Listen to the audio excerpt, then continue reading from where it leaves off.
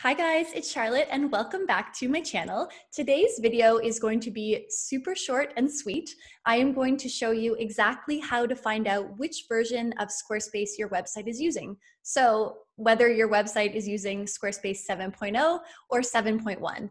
And this is something super quick and easy to find out how to do. But the reason why we're doing this is not only so that we know that information, but also too because, you know, knowing which version of Squarespace your website is built on can affect how you build and design your website and also some SEO considerations. So if you haven't already, I'm going to link up above to a blog post that I did that talks about Squarespace SEO um, when you, you look at it from a 7.0 versus 7.1. So make sure you watch that video. But otherwise, I'm going to show you how to do this because it's something super easy that you might want to do or you definitely want to know. And there's many reasons why someone might not know which version of Squarespace website their site is built on.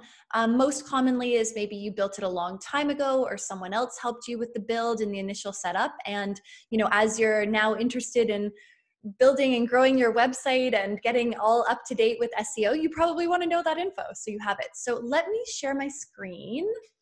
Okay, I'm going to share my screen here. There we go. Excellent. Okay, cool. So let's let me show you here okay so first of all i'm going to show you two cases how to tell if you're on squarespace 7.0 versus 7.1 and what that's going to look like okay so right now imagine i have this one demo website built up here you're going to just go here once you've logged in the backend, go to help, and then you scroll down to the bottom and you see here it says Squarespace version 7.1.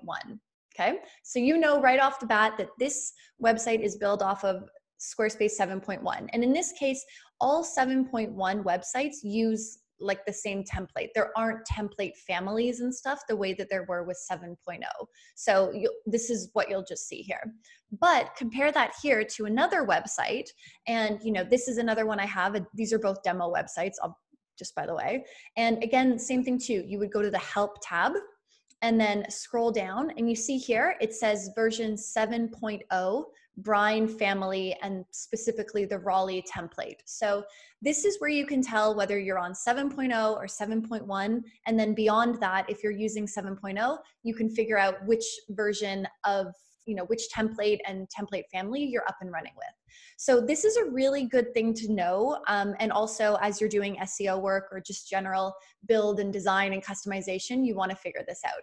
So before you go i want to remind you that i have a free squarespace seo checklist and whether you are completely new to squarespace seo or you've been at this a little bit and you just want to make sure that you know that you're doing this properly, I really recommend that you grab a copy of this. I'm going to link it down below in the description so you can grab it. It's totally free and I know it's going to help you no matter like where you are on the SEO front and this is going to be a great thing for you.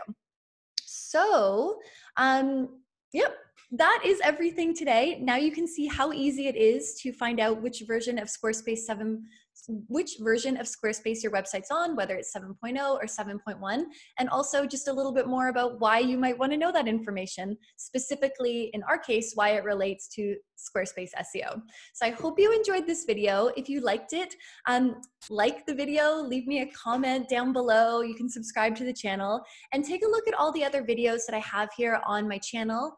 And also on my website, charlotteohara.ca, I have so much content all about Squarespace SEO, web design and development, growing your website and your online business. So I'm sure you'll find lots of stuff to keep you interested and occupied. Thank you so much for watching, and I will see you again soon. Bye.